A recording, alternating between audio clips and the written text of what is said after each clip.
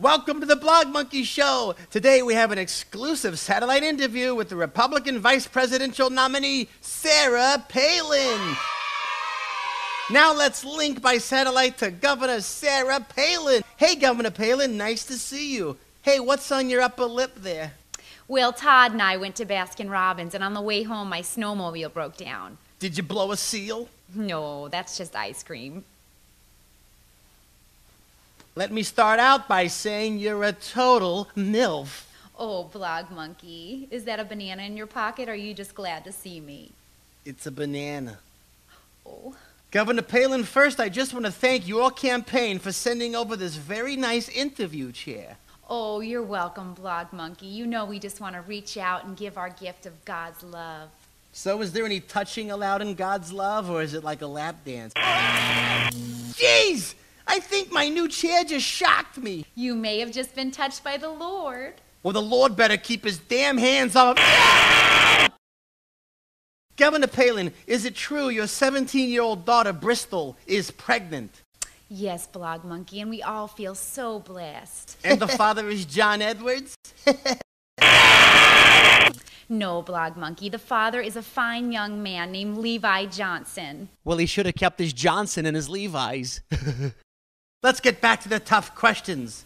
Do you know how friggin' hot you are? Yes, I do. You remind me of that time I ran out of porn and I had to use that LensCrafters catalog.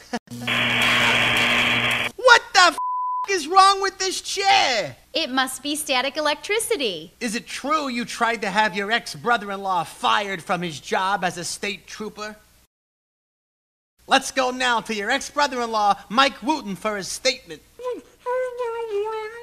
Gag order, huh? Okay, moving on.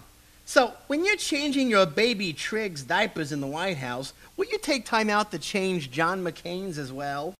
John McCain does not wear diapers. Depends. Now, Sarah, hold on. I've just been informed Mike Wooten is ready to speak. She's dangerous. Don't vote for her. She's psycho. She's crazy.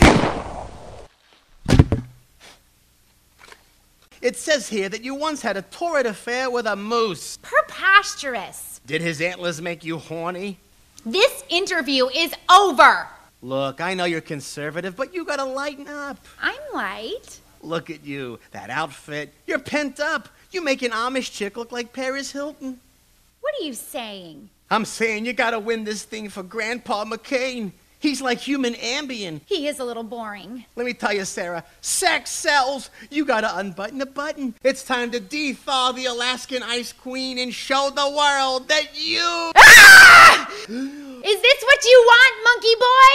Huh, you little simian freak? Is this what you want? Talking. Show those igloos, baby. I want everyone to vote for me. What do I have that Obama and Biden don't? These, baby. You get four years of these, yes, baby. Sarah, you got my vote now, baby. Her boobies are almost as big as McCain's. Oh.